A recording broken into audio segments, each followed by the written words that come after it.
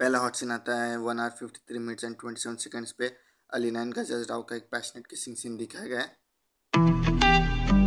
Welcome back to my channel so आज मैं आपके लिए थाई मसाज ये मूवी के बारे में रिव्यू और हॉट सीन्स के टाइमिंग के बारे में डिटेल आपको बताने वाला हूँ। सो वीडियो लास्ट तक देखिए।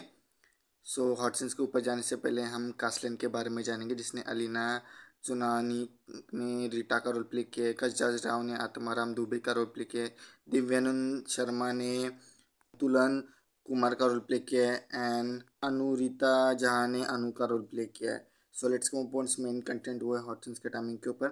पहला और लास्ट आता है one hour fifty three minutes and twenty seven seconds पे अलीना एंड गज़ल राव का एक पैशनेट किसिंग सीन दिखाया गया।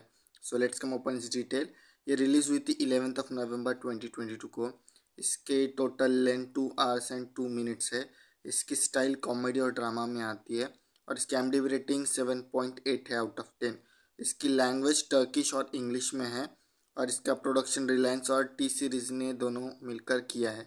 इसके मोपॉन इट्स बेसिक स्टोरी लाइन इसमें बताया गया कि आत्माराम दुबे एक मिडिल क्लास फैमिली से होता है पर उसका जो होता है, वो बाहर घूमने का होता है अपनी पत्नी के साथ और इंटीमेट होने का। पर वो बहुत ट्राई करता है। के बढ़ते एज के साथ वो बहुत ही कंफ्यूज हो जाता है क्योंकि वो बूढ़ा हो गया होता है। और उसी टाइम पे अब क्या करना है? उसको इंटीमेट तो होना है और उसके ड्रीम्स भी फुलफ़िल करने हैं। तो इसी मिक्स फीलिंग के साथ एक पार्ट यहाँ पर ख़त्म हो जाता है। और फ़र्स्ट हाफ़ के सेकेंड पार्ट में दिखाया गया है कि कैसे दिव्यानंद उससे मिलता है मतलब संतुलन कुमार उससे मिलता है और कैसे उसका हर एक जी, जो भी ड्रीम है, वो पूरा करने के लिए ट्राई करता है।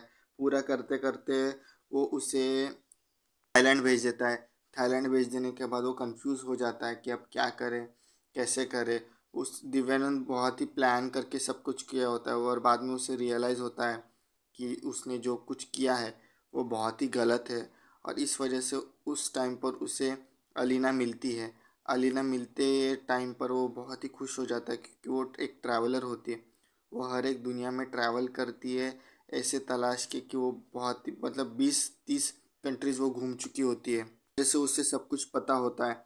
और ऐसे ही वो बहुत ही नज़दीक आता है उसके सामने। वो बहुत ही दोनों भी बहुत ही इन्जॉय करते क्वालिटी टाइम स्पेंड करते तो ये सब वो स्टोरीज अपने जो बेटा है उसको बता रहा होता है क्योंकि उसको पासपोर्ट मिल गया होता है उसका, अपने पिताजी का। और उसके जो अलीना के साथ में रीटा के साथ भी फ़ोटोज़ होती है, वो भी मिल जाते तो उनको लगता है कि वो अफेयर होता है और उनको पता भी नहीं चलता कि वो थाईलैंड गए तो इसकी स्टोरी वो बताए, बता रहा है कि कैसे वो गया, क्यों गया, क्या क्या क्या सीन हुए थे उसके लाइफ में। बढ़ते एज के साथ वो भी सब हो जाता है। इंटीमेटेड जो फैकल्टीज़ होती है अपनी बॉडी में, वो बढ़ जाती है और क्या क्या सीनेरियो हो जाता है, सब कुछ बता देता है। और बाद में उनका जो किस है वो भी, वो बता देता है खुले खुले में। और उसका जो बेटा है, वो एक्सेप्ट करता है, नहीं करता है बाद में वो सब कुछ दिखाया गया है मूवी में। और शंतनु भी क्या करता है अपनी लाइफ में, उसके लाइफ में वो सेटल हो जाता है, वो भी सब कुछ बताया गया है।